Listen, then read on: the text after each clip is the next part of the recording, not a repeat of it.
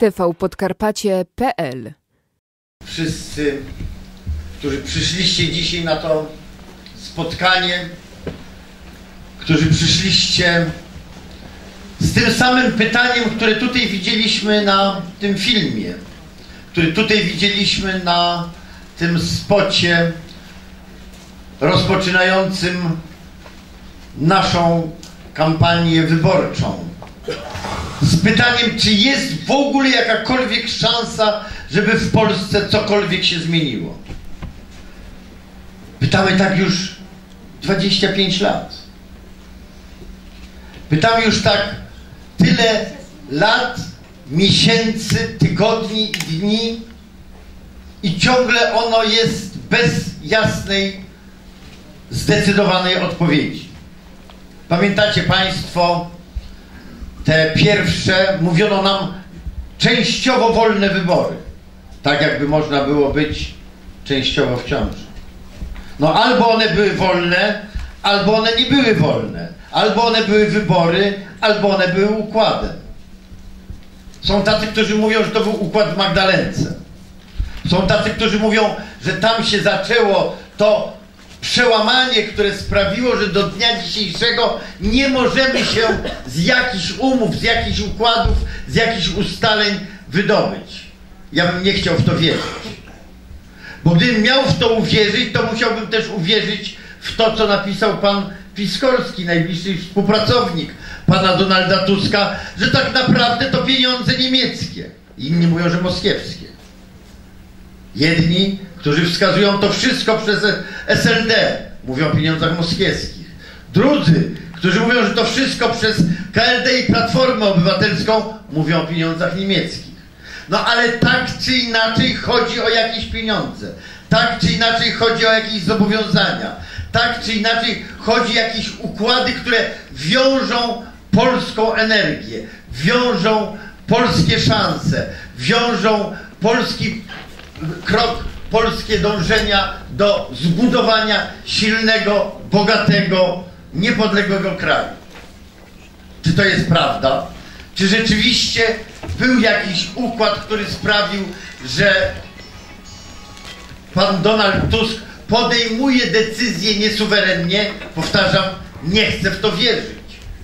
No ale rzeczywiście trochę jestem speszony tym, że pan Donald Tusk nie stanął na drodze sądowej i nie wytoczył procesu temu oszczercy. No jeżeli to jest oszczerstwo, jeżeli to jest nieprawda, to chyba powinien w sądzie to udowodnić. Bo inaczej to jesteśmy zawieszeni i nie wiemy, czy te stocznie, które zostały zniszczone, stocznie, stocznie, o które pokolenia Polaków walczyły, stocznie, które były dumą Polski, stocznie, które sprawiły, że mogliśmy powiedzieć, no może w wielu dziedzinach nie jesteśmy na pierwszym miejscu, ale w tym jednym z najnowocześniejszych przemysłów Polska jest w pierwszej piątce na całym świecie. Polskie statki pływają po wszystkich oceanach i możemy powiedzieć, że tutaj naprawdę jesteśmy bardzo dobrzy. I te stocznie zostały zniszczone? Dlaczego? Z jakiej racji? Przecież w tym samym czasie, gdy niszczono polskie stocznie, to na zachód od nas, 15, 20, 50 kilometrów na zachód od nas, wzrastały, rosły w siłę stocznie niemieckie. W tym samym czasie i przejmowały kontrakty, które były przynależne stoczniom polskim. Ktoś zarabiał na tym, że my traciliśmy. Miał być jakiś katarski inwestor, pamiętacie Państwo? To on miał rozbudowywać te stocznie. Potem rozpłynął się w mgle jakiś, jakiś jak mara, tak powiem, nocna. Nie ma katarskiego inwestora. A czy dlatego właśnie, czy z tego samego powodu polscy rolnicy, którzy mieli dostawać od 2014 roku wyrównanie, mieli dostawać tyle samo pieniędzy, tyle samo dopłat do hektara, co rolnicy niemieccy, francuscy, angielscy, hiszpańscy, włoscy, greccy i nie dostają. 5 miliardów euro zostało zmarnowane, stracone, zrezygnowano. To nie były prywatne pieniądze pana Donalda Tuska. To były państwa pieniądze. To były pieniądze polskich rolników. Zrezygnowano z nich. Dlaczego zrezygnowano? Nigdy do dnia dzisiejszego pan Donald Tusk nie wytłumaczył, dlaczego zrezygnował z tych pieniędzy. Może jesteśmy za bogaci według niego. Może, ma, może polscy rolnicy są w zbyt dobrej sytuacji. Może polski przemysł kwitnie. Może jest tak, że ma, możemy innych obdarowywać tymi dobrami, które nam się należą, bo przecież wejście do Unii to nie było coś na piękne oczy.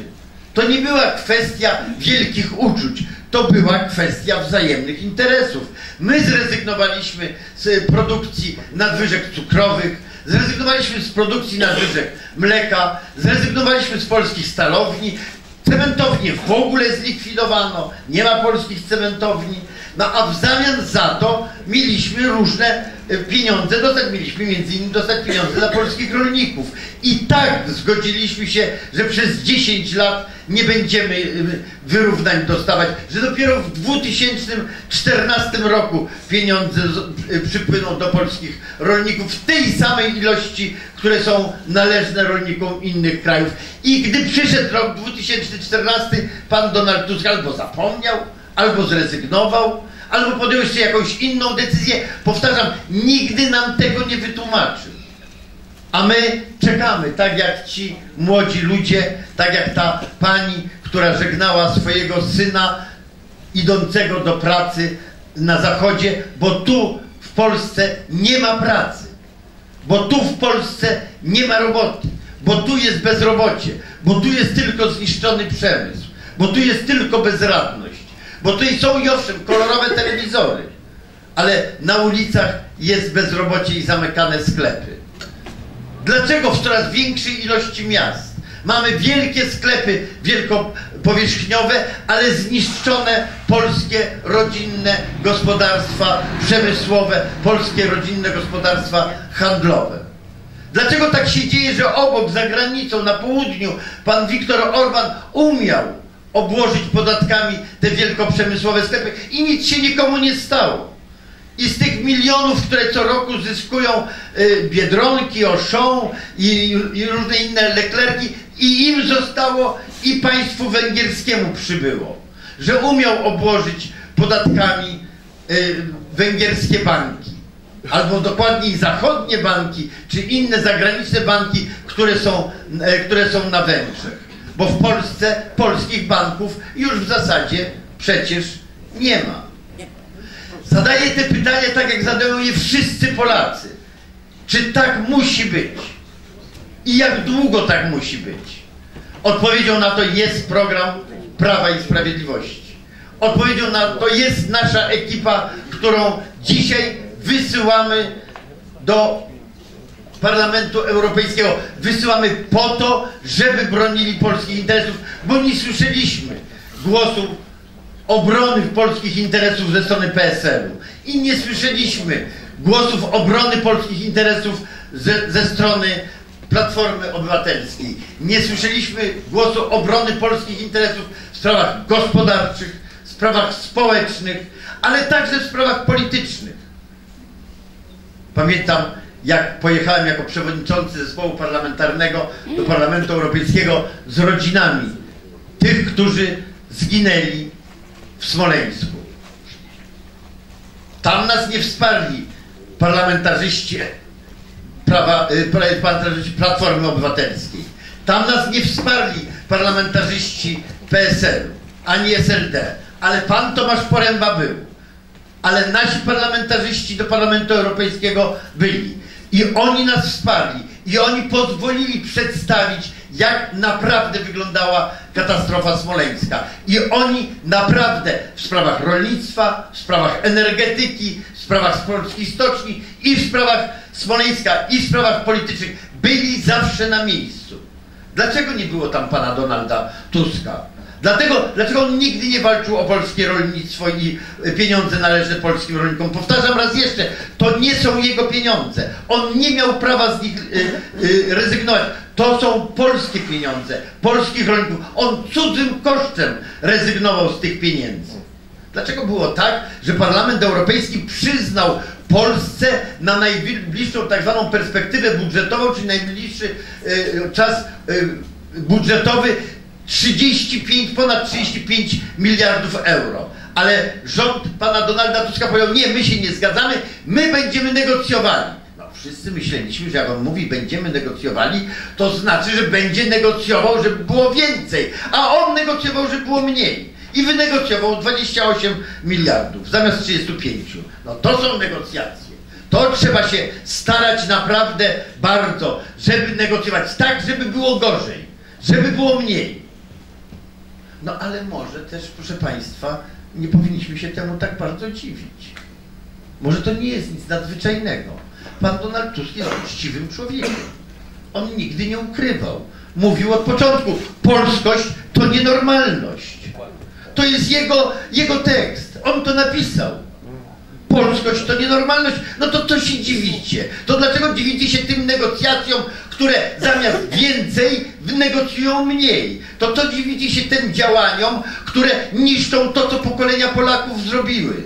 Dziwicie się, że nie ma polskich stoczni? Dziwicie się, że to wielkie marzenie pokoleń Polaków, żeby było okno na świat, okno na morze żeby Polska mogła działać na, na, na całym świecie, żeby polska bandera pływała wszędzie, żeby był nowoczesny polski przemysł motoryzacyjny, okrętowy, że ich nie ma.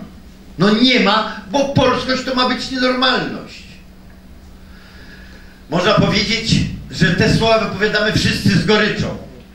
Z tą goryczą, która nas chwyciła za gardło, wszystkich, w całej Polsce, w Sejmie, na ulicach Warszawy, tutaj, wszędzie. Jak widzieliśmy, co zostało z samolotu, w którym leciał prezydent i polska elita. A potem, co zostało z nadziei, że, to, że ta sprawa będzie wyjaśniona, z nadziei, które nam dawano. Mówią nam, bądźcie cicho, my to wyjaśnimy. Bądźcie cicho, na pewno pan Władimir Putin to jest człowiek przyjazny Polsce. On przekopał, pokazał przekopać. Przekopał na metr głęboko wszystko. Na pewno to wyjaśni. To uczciwy, dobry człowiek. On chce, to, chce nam pomóc. Oddajmy to śledztwo w jego ręce. A dzisiaj dowiadujemy się, że to Hitler. Tak mówią. Ci sami ludzie, którzy oddali śledztwo smoleńskie w ręce pana Donalda, przepraszam, pana Władimira Putina, ci wszyscy, no właśnie, ci wszyscy, ci wszyscy ludzie mówią o tym, któremu oddali śledztwo smoleńskie, które, któremu oddali śledztwo w sprawie śmierci polskiej elity. Dzisiaj mówią, to Hitler, to co nie wiedzieli tego wtedy? Siedem lat temu, wtedy kiedy ginął polski prezydent, nie wiedzieli. Wtedy kiedy negocjowali, żeby tak zrobić, żeby rozdzielić wizyty nie wiedzieli. Wtedy, kiedy pan Donald Tusk 7 kwietnia, tam nad grobami katyńskimi, umawiał się z panem Władimirem Putinem, że będziemy kupowali gaz po najwyższych cenach w Europie. Bo przecież dlatego między innymi te, te wizyty zostały rozdzielone, żeby mógł się układać sam na sam z Putinem. I ułożył się. Po dzień dzisiejszy tamten kontrakt kładzie się kamieniem na nas. Ciąży nad polską gospodarką. My płacimy najwięcej w Europie za gaz rosyjski. My, którzy mamy największe złoża energetyczne. Węgla kamiennego, gazu naturalnego, gazu łupkowego. Często mnie ludzie pytają, a dlaczego my nie wydobywamy? Piszą w gazetach, że jest ten gaz łupkowy, piszą i mówią, że Amerykanie to stwierdzili, że wszyscy, że jest ileś tam bilionów tego gazu łupkowego. Ameryka z tego zrobiła wielki interes. Nie wiem, czy Państwo wiedzą w ciągu 10 lat w Stanach Zjednoczonych 60% zużycia gazu jest właśnie z gazu łupkowego. To w ciągu 10 lat się stało. No to mówią ludzie, no to my byśmy też mogli. Też mamy ten gaz. Dlaczego nie? A no właśnie. Panie premierze, dlaczego nie ma ciągle ustawy o wydobyciu gazu łupkowego? Dlaczego my nie możemy rozpocząć eksploatacji gazu łupkowego? Może znowu jakieś pieniądze? Może rosyjskie, może niemieckie, może jakieś inne, a może pan się zobowiązał komuś, że nie będzie tego gazu łupkowego.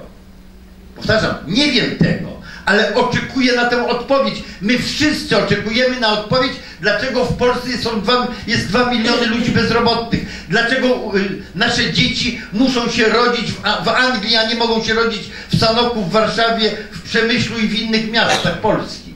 Dlaczego do, przychód na, na, naturalny w Polsce nie tylko maleje, jest ujemny?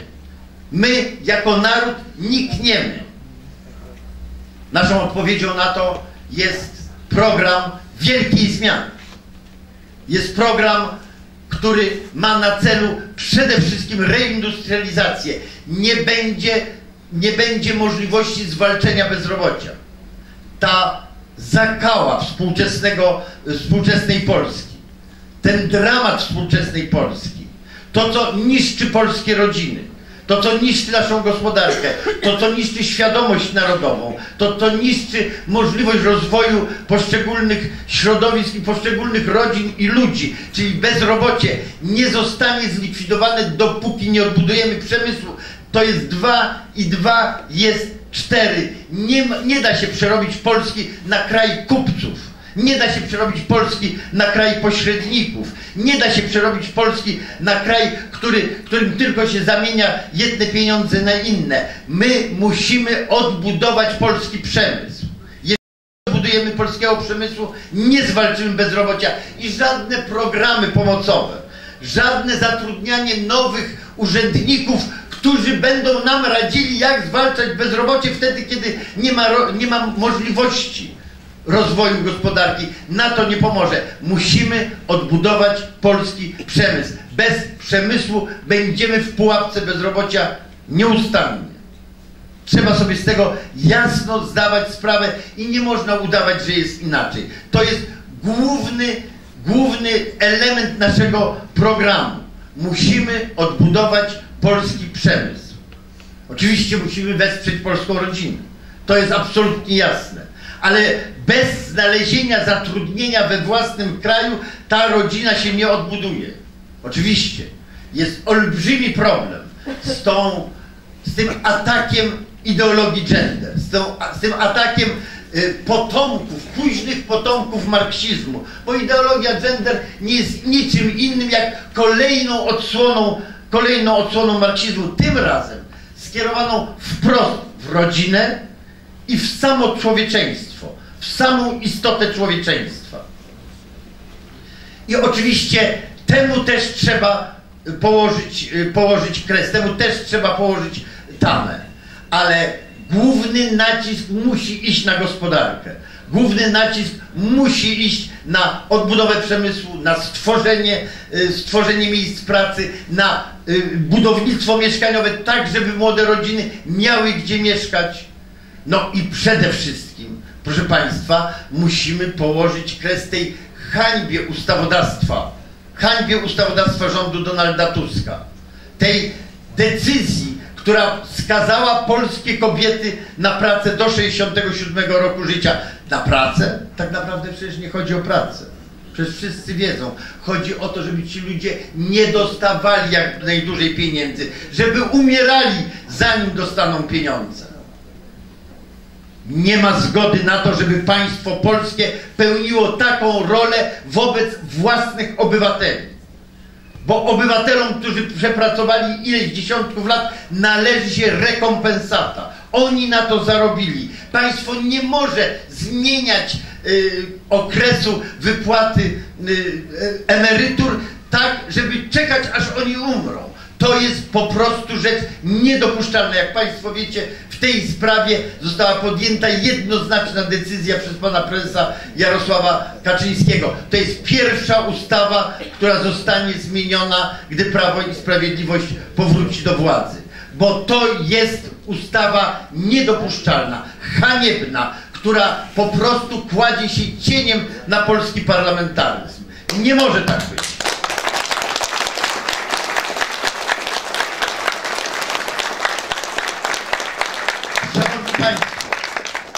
Wyliczyłem niektóre tylko problemy, które gnębią dzisiaj polską gospodarkę. Można by niestety ten bilans jeszcze przedłużać i przedłużać. Można by przytaczać coraz więcej nieszczęść, które gnębią nas pod rządami Platformy Obywatelskiej i PSL. Pod rządami ludzi, dla których, jak mówiłem, polskość to nienormalność jest głównym, prawdziw, główną prawdziwą wytyczną ich działania. Otóż, dlaczego tak się dzieje? Czy myślicie Państwo, że byłoby możliwe, żeby taki był przebieg wydarzeń, żeby, żeby dochodziło do tak nieprawdopodobnych decyzji, gdyby żył pan prezydent Lech Kaczyński? Czy wyobrażacie sobie, że on by podpisał ustawę mówiącą o tym, że kobiety mają pracować do 67 roku życia? On, profesor prawa pracy, on, który zakładał wolne związki zawodowe, on, który był u narodzin Solidarności, on, dla którego równowaga pracy i kapitału, sprawiedliwość społeczna nie były pustym hasłem. Były jednym z fundamentów, na którym chciał odbudować silną, sprawiedliwą i bogatą Rzeczpospolitą. Nigdy by do tego nie doszło, gdyby żył pan profesor Lech Kaczyński. A czy doszłoby do tej hańby w polskiej oświacie, że polskie dzieci nie mogą się uczyć polskiej historii, że trzeba głodówki polskich uczonych. Trzeba głodówki polskich uczonych, żeby przywrócić to niestety w niepełnym wymiarze, bardzo okrojonym, bardzo, yy, bardzo ma, ma, małym wymiarze, żeby przywrócić historię Polski. To co my wróciliśmy do tych czasów, kiedy polskie dzieci we wrześniu musiały yy, tak powiem, strajkować, żeby przywrócić naukę polskiego i naukę polskiej historii? Czy ta Platforma Obywatelska już zupełnie, że tak powiem, się spalikociła? Absolutnie. To są rzeczy nieprawdopodobne. Trudno wyobrazić sobie bardziej dalej idącą degenerację, y, tak powiem, ludzi, niż to, że sprawia się, że nie ma historii, nie ma nauki własnego, własnej, własnej historii, własnej przeszłości. Każdy naród, każde społeczeństwo, każdy lud szanuje przodków. Każdy wie, że jeżeli nie ma kontynuacji doświadczenia, dorobku poprzednich pokoleń, to musi nastąpić katastrofa. Tylko Platforma Obywatelska udaje, że jest inaczej. Tylko Platforma Obywatelska tego nie chce. Każdy wie, że jak nie ma przemysłu, to będzie bezrobocie. Każdy wie, że bezrobocie niszczy, niszczy naród, niszczy poszczególnych ludzi. Powtarzam jeszcze raz. Ten obraz dramatyczny, dramatyczny obraz z upadku, powolnego upadku, jak po równi pochyłej, sytuacji gospodarczej i społecznej Polski, stał się możliwy i przyspieszył po dramacie smoleńskim. Zobaczcie Państwo, to nie jest tylko kwestia problematyki międzynarodowej, to nie jest tylko kwestia traktowania nas jak klientów jednego z ościennych mocarstw przez cały inny świat. To jest także kwestia naszej pozycji obywatela w kraju. Przecież spróbujcie pójść do szpitala. Zobaczcie, co się dzieje ze służbą zdrowia. Zobaczcie, co się dzieje w związku z tym, z poziomem y, zdrowia w Polsce. My się przekształcamy w kraj ludzi niepełnosprawnych. My się przekształcamy w kraj ludzi, w których w średnim i późniejszym wieku nowotwory są jednym z głównych zagrożeń. Coraz częściej nowotwory stają się chorobą endemiczną. To są, powtarzam, rzeczy, które nie mogłyby mieć miejsca, gdyby żył pan y, prezydent Lech Kaczyński. Czy byłoby możliwe, żeby posłanka, która mówi, że będzie robiła interesy na sprzedaży polskich szpitali, będzie wychwalana pod niebiosa, będzie ikoną partii politycznej? Interesy? Kręcić lody ze sprzedaży polskich szpitali? Przecież zawód lekarza, zawód pielęgniarki, Zawód położnej to jest najbardziej, jeden z najbardziej szlachetnych zawodów. Obok nauczyciela jeden w ogóle z fundamentów naszego odrodzenia narodowego w XIX wieku. Tak było. Tak było. Lekarze, polscy, polscy nauczyciele odbudowywali, odbudowywali Polskę po 1918 roku. Dzisiaj te zawody zostały doprowadzone do upadku, zamienione na kasę. Zamienione na kasę i zdemoralizowane. To jest między innymi konsekwencja rządów Platformy Obywatelskiej. Dzisiaj wystawiamy do Parlamentu Europejskiego najlepszych naszych przedstawicieli. Tu z tej ziemi pan Tomasz Poręba. Pierwszy na naszej liście. Oni wszyscy jest pan Stanisław Piotrowicz. Jest przede wszystkim pani, którą jako pierwszą i dlatego, że kobieta, i dla uznania jej zasług i roli, pani Zając, pani senator Zając powinien wymienić. Są ludzie, którzy są kompetentni, którzy przede wszystkim pokazali charakter. Bo jak Państwo dobrze wiedzą, różnych rzeczy się można nauczyć, ale polskość trzeba nabyć w domu. Ale polskość to jest coś, z czym trzeba naprawdę zżyć się na stałe. Ale polskość, zarażenie polskością trzeba wynieść domu rodzinnego i trzeba pielęgnować tak, żeby ona stała się fundamentem własnego działania. Ci ludzie to są Polacy, którzy chcą walczyć o Polskę, bo my nie idziemy do Parlamentu Europejskiego dla jakichś światowych interesów. Z całym szacunkiem dla Unii Europejskiej. My idziemy do Parlamentu Europejskiego dla Polski, dla odbudowy Polski. I od razu chcę powiedzieć, żeby było jasne i oczywiste. Z przerażeniem słuchałem w debacie kilka dni temu, tydzień temu, gdy pan Donald Tusk, pan Rosati i inni mówili, że najlepszą odpowiedzią na zagrożenie rosyjskie, które przecież sami spowodowali, lekceważąc to, co się działo na wschodzie. Przez lata lekceważali, chcieli się przypodobać panu, y, panu Władimirowi Putinowi. Chcieli wszystko mu oddać w ręce. Chcieli nie widzieć grożącej nawały. Otóż dzisiaj, dzisiaj ci sami ludzie, którzy lekceważyli przez lata to zagrożenie, mówią, że najlepszym sposobem przeciwstawienia się temu jest jedno państwo europejskie. Jest likwidacja polskiej niepodległości. Jest wprowadzenie Polski do Unii Europejskiej. Jest rezygnacja z jednej z ostatnich kotwic polskiej niepodległości, czyli z polskiej własnej monety, ze złotówki. Euro chcemy, mówi pan Rosati. Euro chcemy, mówi pan Donald Tusk. Euro chcemy, mówi pan Rostowski. Ci, którzy zadłużyli Polskę, wyniszczyli Polskę, teraz chcą ją wprowadzić do państwa europejskiego. To ma być odpowiedź? Odpowiedzią na zagrożenie jest silna Polska. Odpowiedzią na zagrożenie jest silna armia. Odpowiedzią na zagrożenie jest silny przemysł zbrojeniowy. Jest odbudowa tego przemysłu między innymi tu, na tej ziemi podkarpackiej, na tej ziemi, gdzie stworzono fundament polskiego przemysłu jeszcze w II Rzeczpospolitej. On ma zostać odbudowany i on ma dać siłę. Bardzo dobrze, jeżeli będziemy mieli sojuszników. Cieszę się, jeżeli staną inne narody ramię przy ramieniu z nami, ale jak nie będzie polskiego żołnierza, jak nie będzie polskiej młodzieży gotowej bronić własnej ojczyzny, to nikt na zewnątrz nas nie obroni. Wiemy to od dziesięcioleci.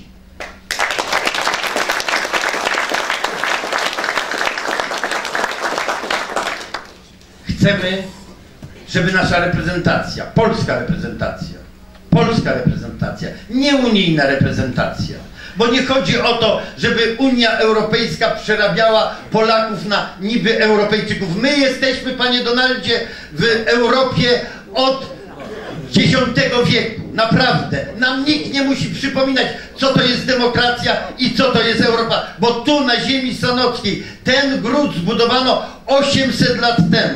Może pan to wie. I my nie musimy się z nikim fraternizować i być poklepywani po ramionach, żeby być uznani za Europejczyków. Bo nas Europy nauczył Kościół chrześcijański, Kościół katolicki. Nas Europy nauczyły pokolenia ludzi, którzy walczyli o Europę. I walczyli z wrogami Europy. Także z tymi wrogami, z którymi Pan się fraternizował. Z dwoma totalitaryzmami, które chciały Polskę zniszczyć. Warto to pamiętać. Idziemy dzisiaj po to, żeby Polska była silna. Idziemy po to, żeby pieniądze, które zostały zmarnowane, które zostały roztrwonione, odzyskać. Idziemy po to, żeby walczyć o takie możliwości, które sprawią, że polski przemysł zostanie odbudowany. I idziemy po to, żeby bronić Polskę, polską rodzinę przed ideologią, która chce ją zniszczyć przez to wszystko, co się nazywa ideologią gender. To są nasze zadania, to są plany i to są obowiązki, które powierzamy w ręce najlepszych z najlepszych. Ale także idziemy po to. I chcę to jasno powiedzieć. I mówię to jako Polak, mówię to jako człowiek, który stracił tam wielu przyjaciół, mówię to jako wiceprezes Prawa i Sprawiedliwości, przewodniczący zespołu parlamentarnego. Idziemy także po to, żeby na forum międzynarodowym wyjaśnić sprawa, sprawę dramatu smoleńskiego. Także po to. To jest też rzecz, która musi tam być przez naszą reprezentację jasno postawiona. Bo jeżeli ktoś myśli, że my zrobimy jakiś handel, jeżeli ktoś myśli, że my za, będziemy handlowali pamięcią prezydenta Rzeczypospolitej, to się myli. Prawo i sprawiedliwość nie spocznie, dopóki nie wyjaśni zbrodni smoleńskiej. To jest nasz ludzki i narodowy obowiązek i na pewno go zrealizujemy. W tej sprawie nie ma cienia wątpliwości. Odbudujemy silną Polskę, odbudujemy silną rodzinę, odbudujemy silny polski przemysł i polską armię i wyjaśnimy dramat smoleński. Dziękuję bardzo.